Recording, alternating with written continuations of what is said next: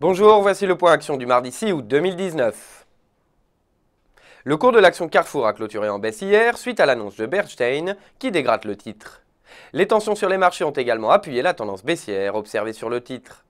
Graphiquement, le retour dans le triangle devrait mener à une poursuite du mouvement en direction de la moyenne mobile 100 à 16,10, voire au contact du bas de la figure graphique, correspondant également au seuil des 16 euros. Retrouvez-nous dès 11h pour le Market Live et dès demain pour d'autres analyses.